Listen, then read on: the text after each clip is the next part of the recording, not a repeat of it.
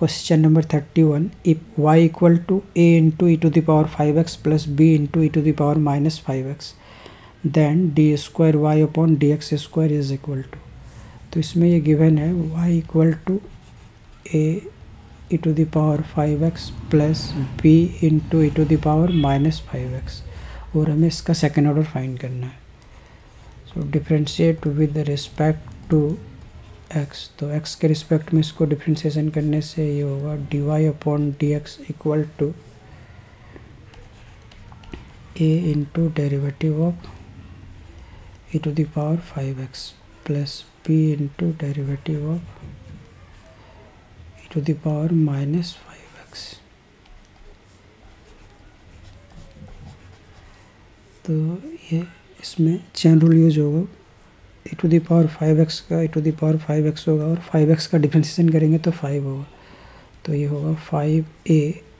e to the power five x और इसी तरह इसमें e to the power minus five x का e to the power minus five x होगा और फिर माइनस फाइव एक्स का डिफ्रेंशिएशन करेंगे तो माइनस फाइव। तो ये होगा minus five b. Again with respect to x d square y upon d x square equal to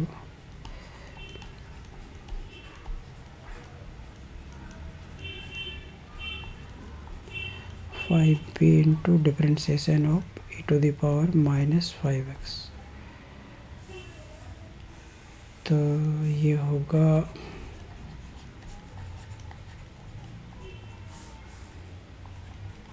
five a into e to the power five x का e to the power five x होगा और फिर five x का differentiation करेंगे तो five minus five b into e to the power minus five x into minus